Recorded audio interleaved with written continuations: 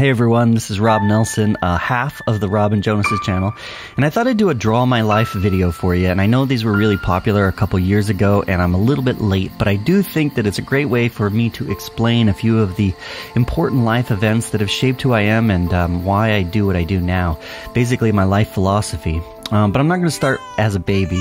I'm going to start my story in 1999 when I was 19 years old. I was in school to be a marine biologist in Australia. A fun tidbit, by the way, that's when I met Jonas. Um, anyhow, I saw a video presentation there about the Great Barrier Reef by some local filmmakers, and it was just so awesome. And I went up to them afterwards and I asked them, how would somebody like me get into doing that? And they told me to just get a video camera, even a small handycam, and start telling every single story that I could. And so that's basically exactly what I did. The next five years, I worked as a biologist and documented everything I studied. In 2001, when I was in grad school in Hawaii, I was paying my tuition by teaching undergraduate lab classes. And I used to have to show these terrible science videos that came with our lesson plans. And the students were just so bored by them.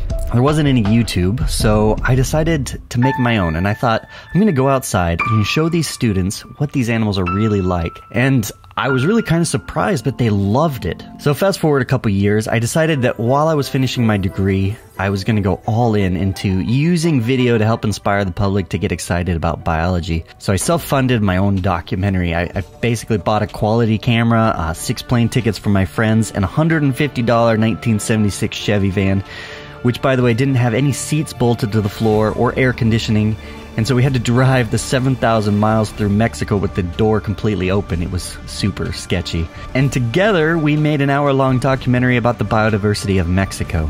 And then when I got back to Hawaii, I was in so much debt that to save money, I bought a 20 foot sailboat for 900 bucks. I anchored it 200 yards offshore and spent that next year doing my research and editing the documentary. However, that's when I had a minor setback that really would change things dramatically. I can now say that I was stupidly planning to sail my sailboat to Australia. And on one fateful day, having not checked the weather, I sailed into the storm of the decade and sank it a few miles offshore. I nearly killed myself and the partner that I was with that day. Fortunately for me, the US Marines sent out helicopters and rescue boats and saved us both. That's the short story anyway. It was all pretty dramatic. I probably shouldn't be alive. The point is, all of my research went down on the ship, including everything that I owned my cameras, my computer, my data, everything. I think I remember that day more than any other day that I've lived so far. I, I really did change that day. It's not that I stopped taking risks, which is what I thought might happen. Instead, it made me think about what was important. All of a sudden, school, grades, a degree didn't matter as much. All I wanted to do was make a difference in the world. I wanted to share I wanted to become less selfish. Fortunately for me, my family was there. They helped lift me out of that hole. I redid my research projects. I rebuilt what was lost, and I decided to finish my PhD program early and focus completely on my filmmaking. And that's because it was the one thing that people seemed to respond to the most, and it was something I felt I was good at. Fast forward a few more years, I got a second master's degree in science filmmaking and I decided to start a company with Jonas and my friend Hazen Audel called The Wild Classroom.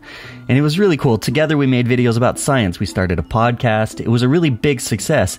We got lots of awards, and every episode we had over 70,000 downloads a day. And that's when Pearson Publishing saw what we were doing and asked us to replace the Discovery Channel as their video content producers. And we were just thrilled. We finally had a job that paid more than $12,000 a year and we'd make a difference for students. We changed the name to Untamed Science and we made 400 videos for them, making it so that every student in America likely came across our videos in their schooling. But with the economic crash, so too did all the funding for us. We had a small team of 12 people that overnight, more or less, I had to tell they were unemployed. The problem was, none of our videos were online. Um, unless you saw them in school and looked us up, you may never have heard of us. It was 2012, I had a small baby, no future income, no real online presence, and I kind of started to get depressed.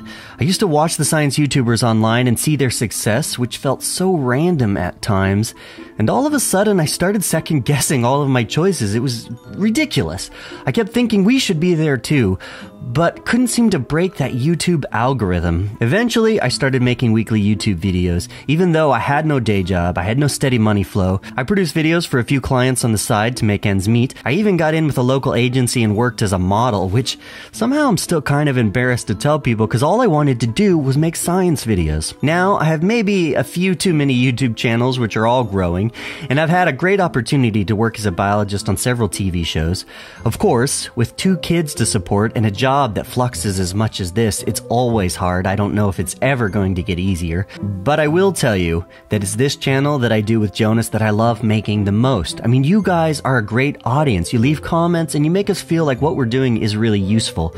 And that's all we could ask for, even though I'm not making the inspirational science videos here on this channel. I feel like maybe the greatest impact I can have is to help others learn to tell their stories that I don't have time to tell. I don't know. Anyway, that's my story, at least the part I thought you might like to hear. I look forward to teaching and sharing more with you in the future.